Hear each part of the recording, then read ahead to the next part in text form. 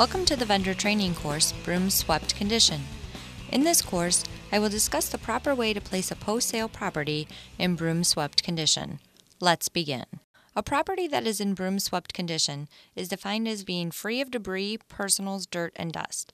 This, however, is not to be confused with full maid services and cleaning. Placing a property in broom swept condition is now a standard part of the FHA post sale maintenance processes that must occur at a location prior to conveyance. Before removing anything from the property, you will need to take into account where the property is located.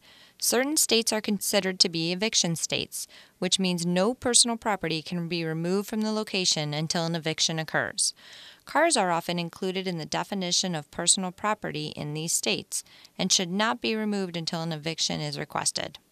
If you are located in a non eviction state, assess the quantity and value of the items present, making sure every room is inspected.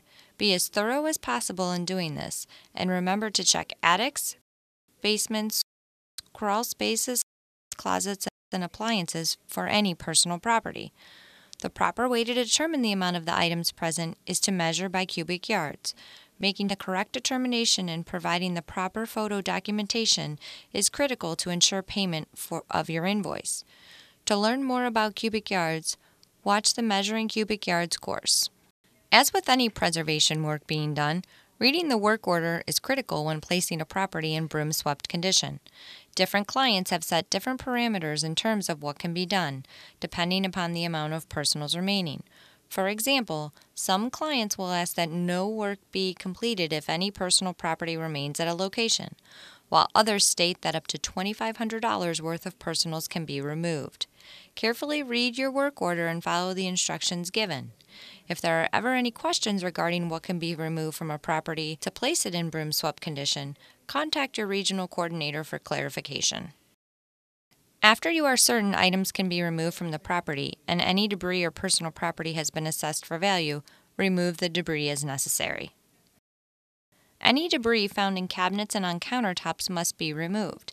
It is also imperative that dishwashers, ovens, and refrigerators are cleared of all items as well. Additionally, countertops and cabinets must be wiped down. If there are any small items on the carpet or floor, they also will need to be removed. The carpet can either be swept with a broom or a small restaurant style cordless sweeper. The sweeper, while not a requirement, has been found to be quicker and a more efficient way to clean the carpet and place the property in broom swept condition. Don't forget to pick up and remove all dust piles. In addition to the floors, do not forget to sweep the steps. Check the area under the steps for debris and personals, removing items if they are found there. If there is a fireplace at the property, all ash has to be removed from it. Clean it thoroughly and sweep the surrounding area. Bathrooms are another area that must be addressed. Remember that we require vendors to carry clean water with them so any items obstructing a proper winterization can be removed. To flush the toilet, add water to the tank in the bowl. After the toilet has been flushed, proceed with the winterization. To learn more about how to complete a winterization, view our winterization training courses. Make sure you thoroughly inspect basements, crawl spaces, and attics to determine if any personal property or debris remains in them. If there are any detached cabinets or storage units, they will need to be removed. If personal items that did not meet the client value threshold were left in the basement or attic, then these items must be collected and removed from the property, and the floor must be swept.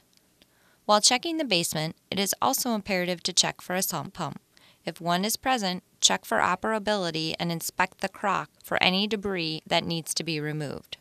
Garages and sheds must be cleaned when putting a property in broom swept condition. Pay special attention to garage rafters.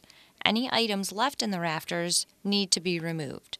In addition, please check any cabinets or closets that are in the garage or sheds. Make sure all items are removed and that the floor is swept. When debris has been removed from all rooms and all areas have been swept and wiped down, complete one last assessment of the property. Again, check closets, corners, and cabinets to confirm that all items have been removed and that the property meets broom swept standards.